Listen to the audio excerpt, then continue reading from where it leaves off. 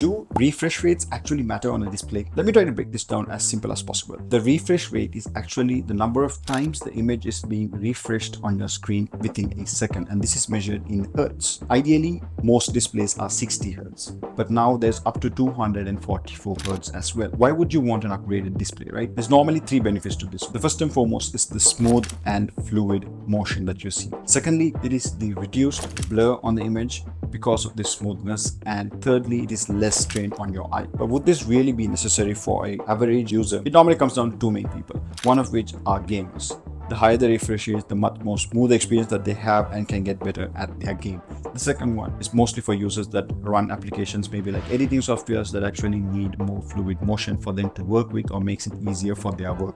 And that a 60 Hz refresh rate or even 120 is more than enough. Nowadays, most phones are 120 Hz and anything above that is just like an upsell for the devices. I hope this made sense. I try to cut it down to one minute as much as possible. If you like this video, leave it a thumbs up and see you in the next one.